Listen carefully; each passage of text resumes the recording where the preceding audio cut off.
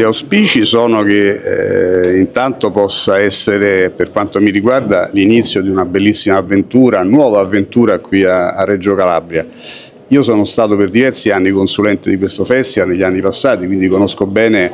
questa realtà. Eh, lo sono stato per 5-6 anni, quindi insomma, ho avuto modo di, di integrarmi e inserirmi in questo territorio che eh, è molto importante, eh, ovviamente la città eh, è bella ma merita anche da un punto di vista cinematografico un evento al, al suo livello. Quindi mi, sento, mi, sono sentito onorato quando l'organizzazione del festival, in modo particolare Michele Geria, Andrea Quattrini, Andrea Pistilli mi hanno chiesto di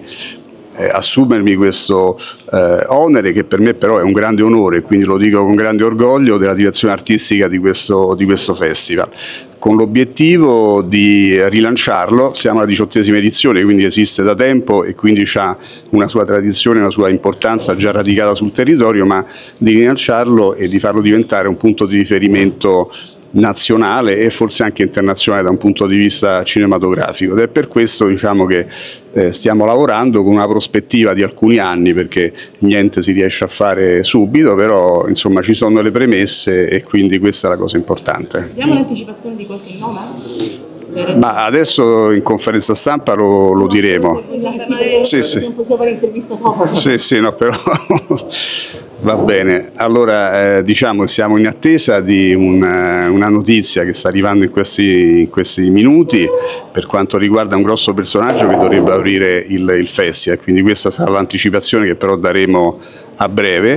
dopodiché eh, noi avremo, chiuderemo il festival con un personaggio che per noi è molto importante, che è Nino Frassica, che insieme a Antonio Catania, a Mauro Gragliani che è regista e a Miliana Amiconi presenteranno il film di chiusura della manifestazione che è 30 anni di meno. Nel corso della manifestazione la Guispina Dorsale, come sapete, è rappresentata dal concorso dei cortometraggi a cui noi teniamo moltissimo, 12 cortometraggi che verranno presentati e che sono il frutto di una selezione eh, nutrita, quindi abbiamo scelto il meglio di un gruppo molto, molto numeroso, dove tra l'altro anche qui ci sono dei personaggi importanti, perché noi abbiamo per esempio Giorgio Di Rabassi, che tra l'altro sarà presente al festival,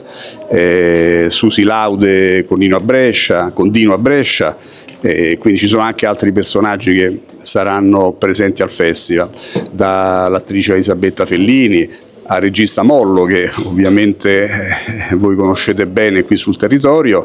Ecco, un altro elemento è il legame con il territorio, quindi qui verranno presentati alcuni lavori sia come eh, cortometraggi che come lungometraggi legati al territorio, ovvero sia di autori eh, calabresi e, e, finanziati anche dalla Regione Calabria, dalla Film Commission, eccetera, perché questo è molto importante perché un festival, dal mio punto di vista, deve essere molto legato alla realtà eh, dove si svolge, quindi a questo, a questo territorio. Poi il festival è molto articolato,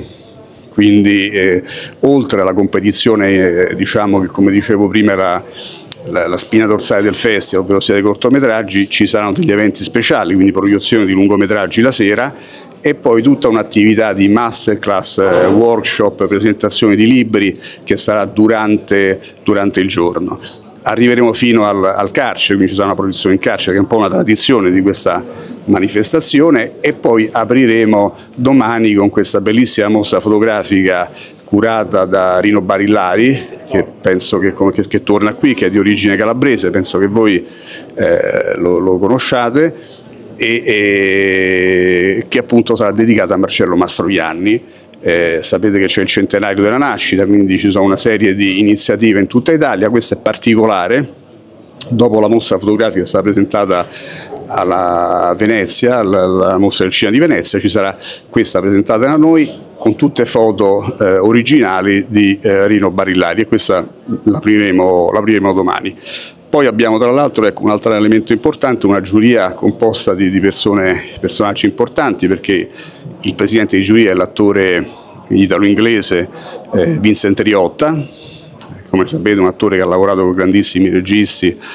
da Christopher Nolan a Ron Howard, a Ridley Scott eccetera eccetera e sarà presidente di questa giuria composta poi dall'attrice Marina Suma, che è un, un altro personaggio importante che noi avremo durante il festival, tra l'altro in questi giorni sta riuscendo il famoso film eh, Sapore di mare, che eh, dopo le occasioni di Rosa l'ha lanciata nel panorama cinematografico nazionale e quindi gli dedicheremo uno spazio, uno spazio adeguato e poi avremo lo stesso Barillari in giuria e poi un critico, un giornalista, quindi anche la giuria sarà un elemento importante di questo festival.